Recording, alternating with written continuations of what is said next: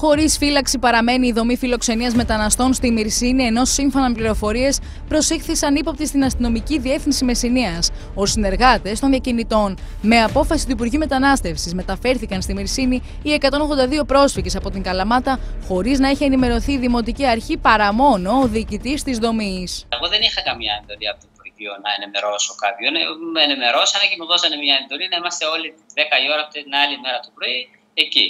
Βεβαίως ε, δεν ξέραμε. Ε, μόνο ξέραμε τους αριθμούς, έτσι.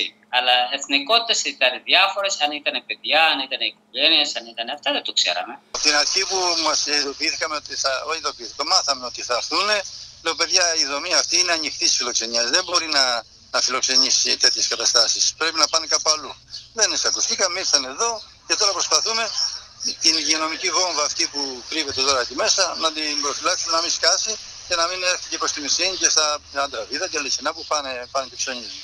Με νύχια και με δόντια παλεύουν στη Μυρσίνη για να μην σκάσει η υγειονομική βόμβα στη δομή φιλοξενίας μεταναστών. Η τοπική κοινωνία της Μυρσίνης είναι ανήσυχη από την παρουσία των προσφύγων, δεδομένου ότι υπάρχουν 16 επιβεβαιωμένα κρούσματα και ουδής γνωρίζει αν γίνει διασπορά. Ε, το πρόβλημα το άλλο το δικό μας ήταν που αυτοί έχουν έρθει ε, χωρίς τίποτα, δηλαδή με, με ένα μπλουζάκι, ένα μπουφάν και ένα πανταλόνι παπούτσα και θέλανε πολλά πράγματα που δεν υπήρχαν στη δομή. Δεν είμαστε προταμεσμένοι για τέτοιες καταστάσεις.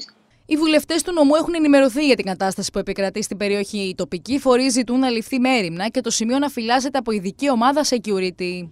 Έχω επικοινωνήσει με όλους τους βουλευτές του νομού και τους κυβερνητικούς και τους ε, τη αντιπολίτευσης και κοιτάμε να μήπως μπορέσουμε να βάλουν μια φρούρηση, ε, μια, μια επιτήρηση με ιδιώτη με securityάδες. Απαγορεύεται οι πρόσφυγες να βγουν έξω από τη δομή, ενώ κλιμάκια του ΕΟΔΗ πραγματοποιούν συνεχώς ελέγχους διενεργώντας rapid test ώστε να εντοπιστούν τα θετικά κρούσματα.